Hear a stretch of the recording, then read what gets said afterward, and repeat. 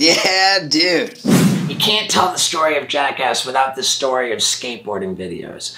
And the first commercial skateboarding video came out in 1984. It was called the Bones Brigade Video Show, and it showed a very young Tony Hawk just ripping in a way the world had never seen.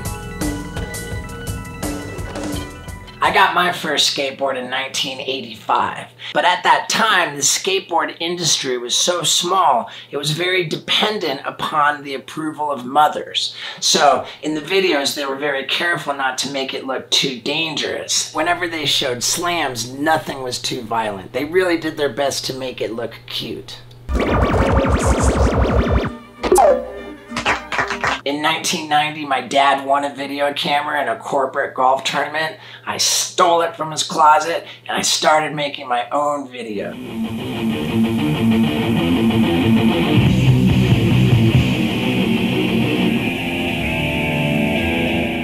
Time I was making my first video, this pro skateboarder named Steve Rocco, who owned a skateboard company called World Industries, said, you know what? We're not kissing mom's ass. We're gonna make a video that's super gnarly and shows skateboarding for what it is. And he set about making his first video called Rubbish Heap.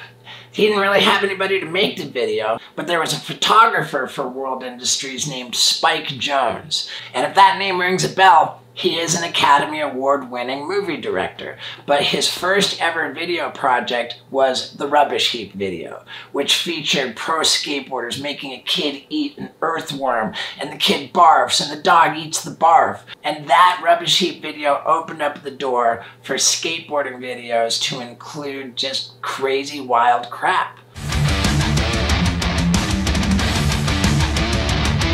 By that point, street skating got so good, I could no longer compete.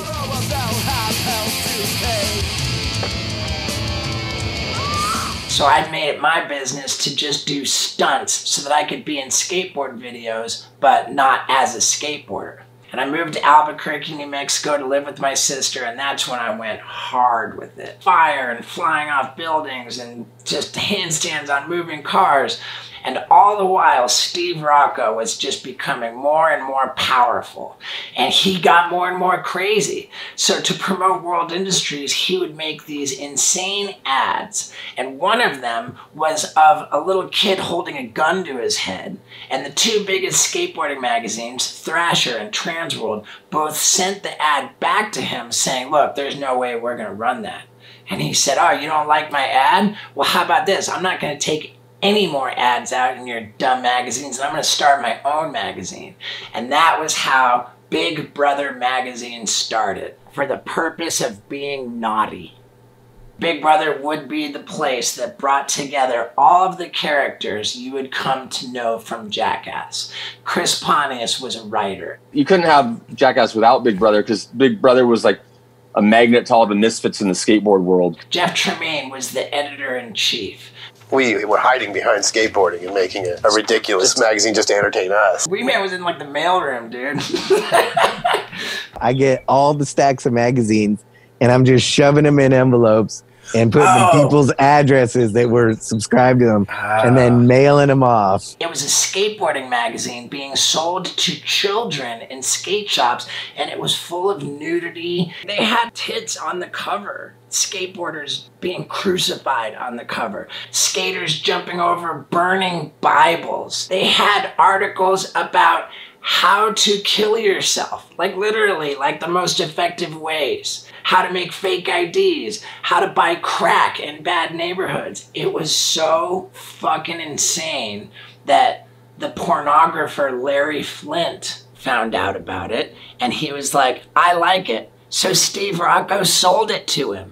Somebody needs to be pushing the limits of the First Amendment all the time to make sure we're getting our money's worth. When I was in Albuquerque and Big Brother came through town, I made it my business to track those fuckers down and get in the magazine.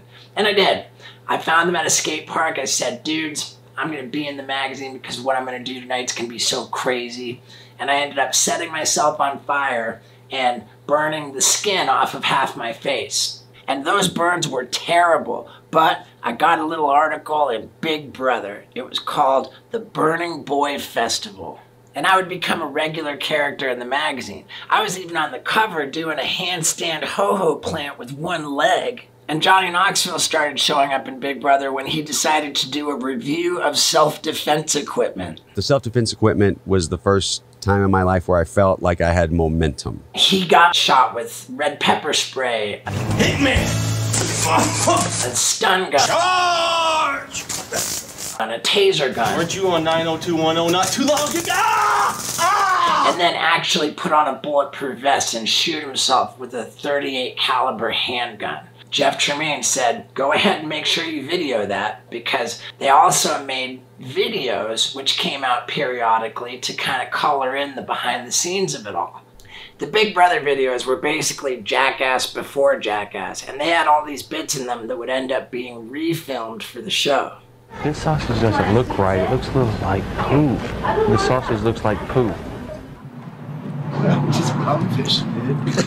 These videos became insanely popular, and Jeff Tremaine and Johnny Knoxville decided to reach out to Spike Jonze and say, hey, we think if we take out the skateboarding, what's left over could be a great TV show.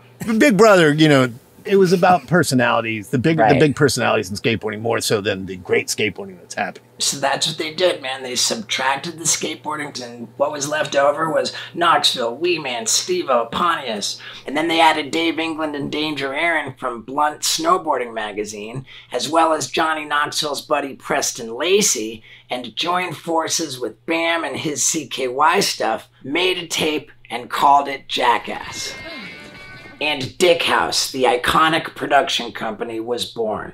They brought their tape to HBO, and that meeting went horribly. But then they brought it to MTV, and MTV loved it. So Jackass premiered on MTV in the year 2000. And very shortly after that, little kids were showing up in hospitals all over the place. MTV got very scared about lawsuits. So they started coming up with new rules that we had to follow and censoring footage that we shot. And Knoxville was like, hey man, I'm not gonna do a watered down version of Jackass. Like, I quit. And like we were all like, Knoxville, what do you mean? And I'll tell you what he meant. Like, this is a sacred fucking thing. and it's gonna be the way we want it to be. Just like Steve Rocco always said, fucking you don't like it, fuck you. Knoxville quit the TV show, but got us a movie deal. Because with the protection of the R rating, we didn't have to worry about little kids so much. So that's how it went from TV to movies.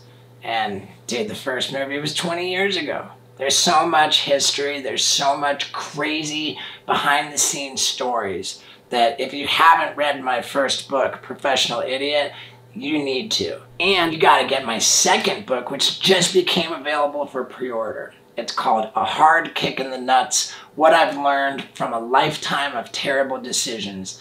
And I want it to do really well, so please get behind it. Hit the link in the video description and pre order your copy. You can order signed copies if you choose the right distributor. And yeah, again, please do that. And thank you for learning about the history of Jackass. Yeah.